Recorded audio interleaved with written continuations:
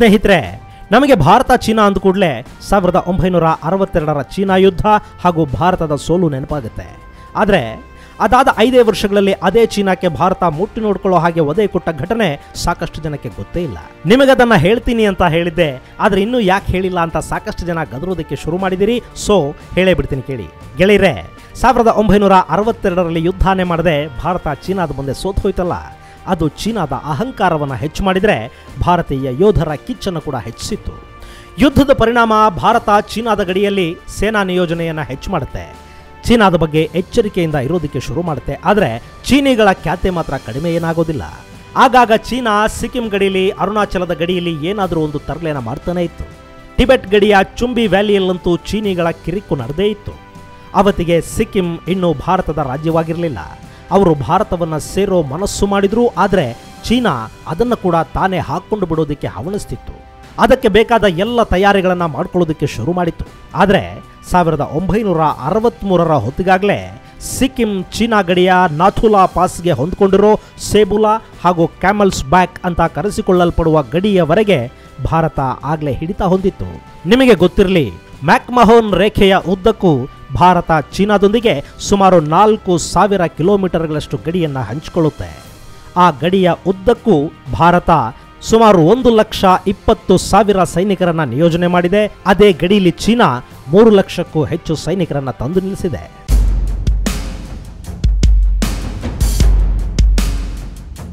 ಅವತ್ತಿಗೆ ಹದಿನೆಂಟನೇ ರಜಪೂತ್ ಬಟಾಲಿಯನ್ ಹಾಗೂ ಗೂರ್ಖಾ ರೆಜಿಮೆಂಟಿನ ತಂಡಗಳು ಸಿಕ್ಕಿಂ ಬಳಿಯ ಗಡಿ ಪೋಸ್ಟ್ಗಳನ್ನು ಕಾಯ್ತಾ ಇದ್ವು. ಇನ್ನು ಆಗ್ತಾನೆ ನಾವು ಪಾಕಿಸ್ತಾನದ ಜೊತೆಗಿನ ಯುದ್ಧವನ್ನು ಗೆದ್ದು ಒಪ್ಪಂದ ಕೂಡ ನಡೆದು ತಾಷ್ಕೆಂಟಲ್ಲಿ ನಮ್ಮ ಪ್ರಧಾನಿ ಶಾಸ್ತ್ರಿಜಿ ಅವರನ್ನು ಕಳ್ಕೊಂಡಿದ್ವಿ. ದೇಶ ಇನ್ನು ಆ ದುಃಖದಿಂದ ಹೊರಬಂದಿರಲಿಲ್ಲ. ಅಷ್ಟರಲ್ಲೇ ಚೀನಿಗಳು ಸಿಕ್ಕಿಂ ಗಡಿಯಲ್ಲಿ ಖ್ಯಾತೆ ತೆಗೆದ್ರು.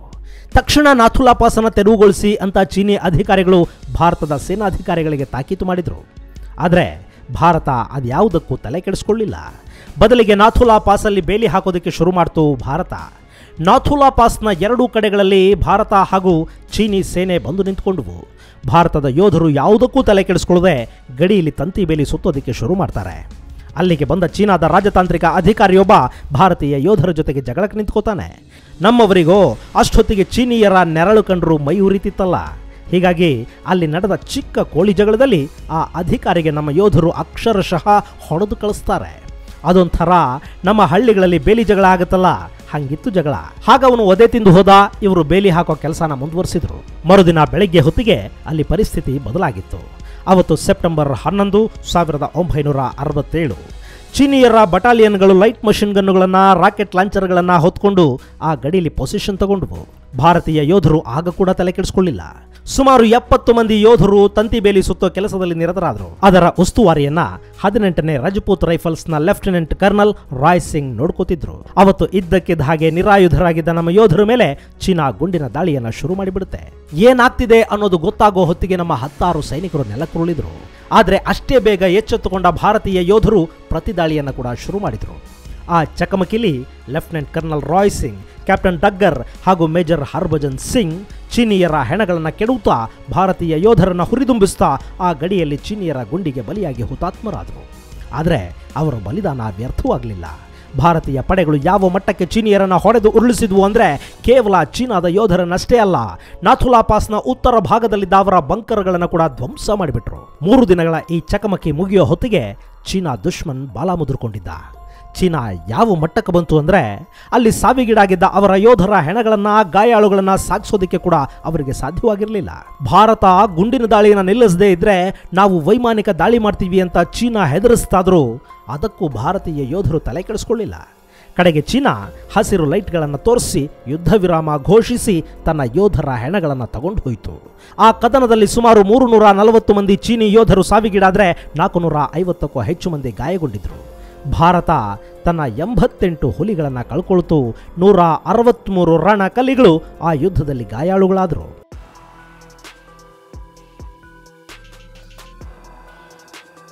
ಹೀಗೆ ಸೆಪ್ಟೆಂಬರ್ ಹದಿನೈದರ ಹೊತ್ತಿಗೆ ನಾಥುಲಾ ಪಾಸಲ್ಲಿ ಬಾಲ ಮುದುರಿದ ಚೀನಾ ಏನು ಸುಮ್ಮನೆ ಕೂತ್ಕೊಳ್ಳಿಲ್ಲ. ಒದೆ ತಿಂದು ಕರೆಕ್ಟ್ ಹದಿನೈದು ದಿನಕ್ಕೆ ಚೋಲಾ ಪಾಸಲ್ಲಿ ಕ್ಯಾತೆ ತೆಗಿತು. ಅಲ್ಲಿನ Indian post point one five four five zero ಬಳಿ ಚೀನಿಗಳು ಗಡಿ ಒತ್ತುವರಿ ಮಾಡಿ ಭಾರತದ ನೆಲದಲ್ಲಿ ಗಡಿಕಲ್ಲು ನೆಟ್ರು. ಅವತ್ತ ಪೋಸ್ಟ್ ಅನ್ನ ಕಾಯೋದಕ್ಕೆ ನಿಂತಿದ್ದುದು ಗೂರ್ಖಾ ರೆಜಿಮೆಂಟ್ ಆ ಪಡೆಯ ನೈಬ್ ಸುಬೇದಾರ್ ಗ್ಯಾನ್ ಬಹದ್ದೂರ್ ಲಿಂಬು ಗಡಿ ಕಲ್ಲಿನ ಮೇಲೆ ಕಾಲಿಟ್ಟು ಚೀನಿ ಸೈನಿಕರ ಜೊತೆ ಜಗಳಕ್ಕೆ ನಿಲ್ತಾನೆ. ಅದು ಹೆಂಗೊತ್ತಾ ಸೇಮ್ ನಮ್ಮ ಹಳ್ಳಿ ಹೊಲಗಳ ಜಗಳದ ಥರಾನೇ. ಅವನು ಅವರು ಹಾಕಿದ ಕಲ್ಲಿನ ಮೇಲೆ ಕಾಲಿಟ್ಟು ಚೀನಿಗಳನ್ನು ಬೈತಿದ್ದ. ಚೀನಿ ಸೈನಿಕರು ಲಿಂಬು ಕಾಲಿಗೆ ಒದ್ರು. ಲಿಂಬು ಅದರ ಮೇಲೆ ಮತ್ತೆ ಕಾಲಿಟ್ಟ. ಮಾತಿಗೆ ಮಾತು ಬೆಳೀತು. ಚೀನಿ ಸೈನಿಕನೊಬ್ಬ ಗನ್ ಬ್ಯಾನೆಟಲ್ಲಿ ಲಿಂಬು ಮೇಲೆ ಹಲ್ಲೆ ಮಾಡ್ದ. ಅಷ್ಟೇ ರೀ, ಅದು ಎಲ್ಲಿತ್ತೋ ಏನೋ ಸಿಟ್ಟು.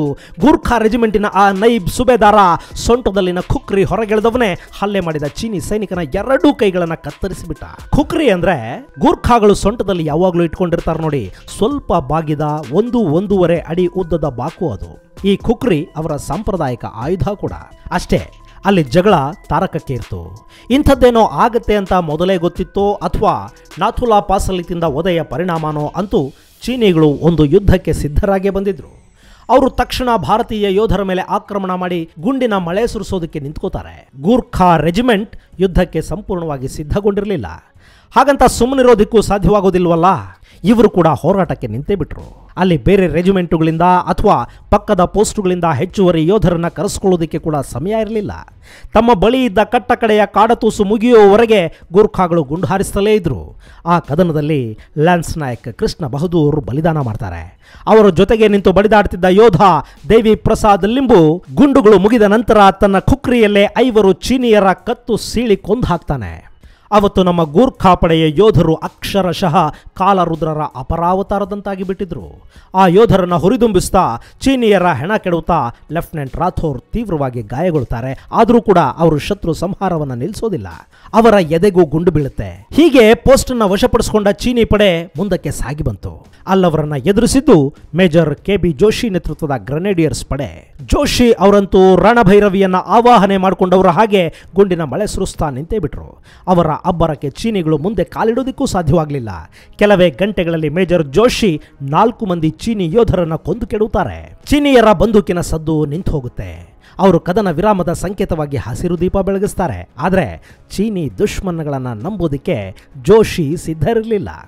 ಯಾಕೆಂದ್ರೆ ಅವರಿಗೆ point one five one eight zero ಬಳಿ ಶತ್ರುಗಳ ಚಲನ ಗಮನಕ್ಕೆ ಬಂದಿತ್ತು. ಸೊ ಚೀನಿಗಳು ಬೇರೆ ಏನೋ ಯೋಜನೆಯನ್ನ ರೂಪಿಸ್ತಿದ್ದಾರೆ ಅಂದ್ಕೊಂಡ ಜೋಶಿ ಗುಂಡಿನ ದಾಳಿಯನ್ನು ಮುಂದುವರಿಸಿದರು. ಶತ್ರುಗಳನ್ನು ಎಂಗೇಜ್ ಮಾಡಿ ಇಟ್ಕೊಂಡ್ರು. ಅಷ್ಟೊತ್ತಿಗೆ ಅವರ ನೆರವಿಗೆ ಮತ್ತೊಂದು ಪ್ಲಟೂನ್ ಬಂದು ಜಾಯಿನ್ ಆಯಿತು. ಕ್ಯಾಪ್ಟನ್ ಪರ್ಗುಲೇಕರ್ ಹಾಗೂ ಬಿ ಕಾಯ್ ನೇತೃತ್ವದ ತಂಡ ಅದು. ಅವರು ಬಂದು ಜಾಯಿನ್ ಆಗೋ ಹೊತ್ತಿಗೆ ಅಲ್ಲಿ ಕದನ ಶುರುವಾಗಿ ಹದಿನೇಳು ಗಂಟೆಗಳು ಕಳೆದು ಹೋಗಿದ್ವು. ಕಣಿವೆಯಲ್ಲಿ ಕತ್ತಲು ಆವರಿಸೋದಕ್ಕೆ ಶುರು ಮಾಡಿತ್ತು. ಆದರೆ point one five four five zero ಚೀನಿ ಶತ್ರುಗಳ ವಶವಾಗಿತ್ತಲ್ಲ. ಅದನ್ನು ಮತ್ತೆ ಪಡ್ಕೊಳ್ಳದೇ ಇದ್ರೆ ಏನು ಪ್ರಯೋಜನ? ಜೋಶಿ ಅವರ ಮನಸ್ಸಲ್ಲಿರೋದು ಕ್ಯಾಪ್ಟನ್ ಪರುಲೇಕರ್ ಅವರಿಗೆ ಅರ್ಥ ಆಗೋದಕ್ಕೆ ಹೆಚ್ಚು ಸಮಯ ಬೇಕಾಗಲಿಲ್ಲ. ಅವರ ಪಡೆ ಕತ್ತಲಲ್ಲೇ point one five four five zero ಕಡೆಗೆ ಸಾಗೋದಕ್ಕೆ ಶುರು ಮಾಡ್ತು. ಬೆಳಕು ಹರಿಯೋ ಹೊತ್ತಿಗಾಗಲೇ ಆ ಪೋಸ್ಟ್ ತುಂಬ ಭಾರತೀಯ ಪಡೆಗಳು ಕಾಣಿಸ್ಕೊಂಡ್ವು. ಅಲ್ಲಿಗೆ ಕಳ್ಕೊಂಡಿದ್ದ ಪೋಸ್ಟನ್ನು ಭಾರತೀಯರು ಮತ್ತೆ ವಾಪಸ್ ಪಡೆದಿದ್ದಷ್ಟೇ ಅಲ್ಲ, ಆರು ಕಿಲೋಮೀಟರ್ಗಳಷ್ಟು ಚೀನಿಯರನ್ನ ಹಿಂದೆ ಕಟ್ಟಿದ್ರು. ಅಲ್ಲಿಗೆ ಸಿಕ್ಕಿಂ ಗಡಿಯಲ್ಲಿ ಚೀನಾ ಬಾಲ ಮುದುರ್ಕೊಳ್ತು. ಈ ಯುದ್ಧದ ಪರಿಣಾಮ ಏನು ಗೊತ್ತಾ? ಸಾವಿರದ ಒಂಬೈನೂರ ಎಪ್ಪತ್ತೈದರಲ್ಲಿ ಸಿಕ್ಕಿಂ ಭಾರತದ ಅವಿಭಾಜ್ಯ ಅಂಗವಾಗಿ ಭಾರತದಲ್ಲಿ ವಿಲೀನಗೊಳ್ತು. ಸಿಕ್ಕಿಂ ವಿಲೀನವನ್ನ ಮೊದಮೊದಲು ವಿರೋಧಿಸಿದ್ರೂ ಕೂಡ ಚೀನಾ ಆನಂತರ ಸಿಕ್ಕಿಂ ಭಾರತದ ಅವಿಭಾಜ್ಯ ಅಂಗ ಅನ್ನೋದನ್ನು ಒಪ್ಪಿ ಅಲ್ಲಿ ನಮಗೆ ಯಾವ ಗಡಿ ತಂಟೇನೂ ಇಲ್ಲ ಅನ್ನೋ ಒಪ್ಪಂದಕ್ಕೆ ಸಹಿ ಮಾಡ್ತು. ಅದರ ಭಾಗವಾಗಿ ನಾವು ಟಿಬೆಟ್ ಚೀನಾದ ಭಾಗ ಅನ್ನೋದನ್ನ ಅಧಿಕೃತವಾಗಿ ಒಪ್ಕೊಂಡು ಜಗಳ ಮುಗಿಸಿದ್ವಿ. ಅಫ್ಕೋರ್ಸ್ ಅದನ್ನು ಸಾವಿರದ ಒಂಬೈನೂರ ಐವತ್ಮೂರರಲ್ಲೇ ಭಾರತ ಒಪ್ಪಿಕೊಂಡಾಗಿತ್ತು ಅದು ಅಗ್ರಿಮೆಂಟ್ ರೂಪಕ್ಕೆ ಬಂತು ಅಷ್ಟೇ. ನಿಮಗೆ ಗೊತ್ತಿರಲಿ, ಅವತ್ತು ಪಾಕಿಸ್ತಾನವನ್ನು ಬಗ್ಗುಬಡಿದ ಎರಡೇ ವರ್ಷಕ್ಕೆ ನಮ್ಮ ಯೋಧರು ಚೀನಾದ ಬಾಲನ ಕೂಡ ಕತ್ತರಿಸಿದ್ರು. ನಾಥುಲಾ ಹಾಗೂ ಚೋಲಾಪಾಸ್ ಕದನಗಳ ನಂತರ ಚೀನಾ ಭಾರತದ ನಡುವೆ ಮತ್ತೆ ಅಂಥ ಯಾವ ಘಟನೆಯನ್ನು ಮರುಕಳಿಸಿಲ್ಲ. ಮೊನ್ನೆ ಡೊಕ್ಲಾಮಾದಲ್ಲಿ ಘರ್ಷಣೆ ಕಾಣಿಸ್ಕೊಂಡ್ರೂ ಕೂಡ ಅದು ದೊಡ್ಡ ಮಟ್ಟಕ್ಕೆ ಹೋಗಲಿಲ್ಲ, ಹೋಗೋದೂ ಇಲ್ಲ ಕೂಡ.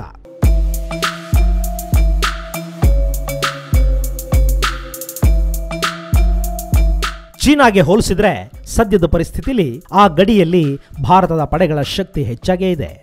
ಸಾಂಪ್ರದಾಯಿಕ ಯುದ್ಧನೇ ಆದರೆ ಚೀನಾ ಅನ್ನೋ ದೇಶಕ್ಕೆ ಸರಿಸಾಟಿಯಾಗಿ ನಿಲ್ಲೋ ಶಕ್ತಿ ಇವತ್ತು ಖಂಡಿತ ಭಾರತಕ್ಕಿದೆ. ಹಾಗಾಗಿನೇ ಚೀನಾ ಗಡಿಯುದ್ದಕ್ಕೂ ರಸ್ತೆಗಳನ್ನ ಮಾಡ್ಕೊಳ್ತಿರೋದು ಹಾಗೂ ತನ್ನ ಸೈನಿಕರನ್ನ ತಂದು ಆ ಗಡಿಯಲ್ಲಿ ನಿಲ್ಲಿಸೋದಕ್ಕೆ ಶುರು ಮಾಡಿರೋದು.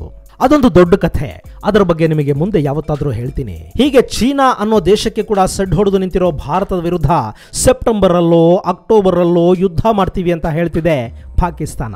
ಇದಕ್ಕಿಂತ ದೊಡ್ಡ ಜೋಕು ಬೇರೆ ಏನಾದರೂ ಇರೋದಕ್ಕೆ ಸಾಧ್ಯನಾ? ಅಂದಹಾಗೆ ಸ್ನೇಹಿತರೆ, ಸಾವಿರದ ಒಂಬೈನೂರ ಅರವತ್ತೇಳರ ಯುದ್ಧದಲ್ಲಿ ಚೀನಾದ ಬಾಲ ಕತ್ತರಿಸಿದ ಆ ದಿನಗಳಲ್ಲಿ ಭಾರತವನ್ನು ಆಳ್ತಿದ್ದದ್ದು ನೆಹರು ಮಗಳು ಶ್ರೀಮತಿ ಇಂದಿರಾ ಗಾಂಧಿ. ಇದು ಸ್ನೇಹಿತರೆ, ಭಾರತೀಯ ಯೋಧರ ಶೌರ್ಯದ ಕಥೆ. ಮುಂದಿನ ಸಂಚಿಕೆಯಲ್ಲಿ ಮತ್ತೊಂದು ವಿಶೇಷದ ಜೊತೆಗೆ ನಿಮ್ಮನ್ನ ಭೇಟಿ ಮಾಡ್ತೀನಿ ಅಲ್ಲಿವರೆಗೆ. ಜೈ ಹಿಂದ್, ಜೈ ಕರ್ನಾಟಕ.